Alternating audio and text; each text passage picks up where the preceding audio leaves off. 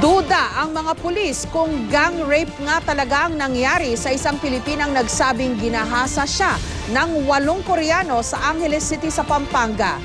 Limang taon na raw kasing nagtatrabaho bilang pick-up girl ang biktima at inamin daw niya sa mga pulis na hindi nagbayad ang Koreano sa napagkasunduan nilang halaga na 3,500 pesos.